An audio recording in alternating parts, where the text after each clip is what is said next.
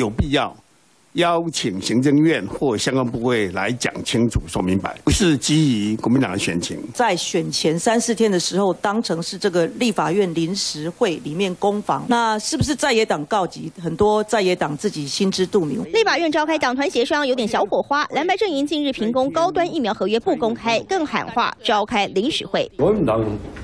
险如巨雄啊！没有招乱乱搞一通。党团协商近一个小时后有共识，将在周二早上九点请行政院长陈建仁跟各部会首长针对高端争议专案报告并备询。不过蓝白主帅在隔空请邀。公哎，国会要讨论，你赶快公布嘛。那前头大概都有问题哈，一点跟下。对民进党的了解了哈，那一定要做准备。契约叫什么的？冰山之一角。问题是你知道哈？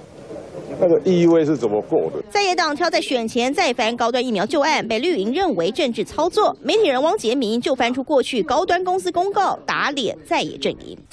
二零二二年十月三十一号，高端公告指出，公司与机关署签新冠疫苗采购合约，总价金额四十亿三千万。公司财报销售金额扣除营业税及部分批次延迟交货扣款，累计营收三十六点二亿，预计总认列营收三十六点四亿，实际营收认列与合约履行价金一致。这一年多前就曝光的资讯，让汪杰明嘲讽弊端在哪？侯友谊作为新北市消失的市长，要多读书啊！对于蓝白的质疑，赖清德。也正面回击，我的态度没有改变。那现在立法院已经要进行临时会讨论，那我们就交给国会好好来讨论。我相信呢，啊，真理会越辩越明。明说公开没意见，不过选前关键时刻，蓝白的动作频频，难免被连结意在赚取选举红利。新华清晨郑海中。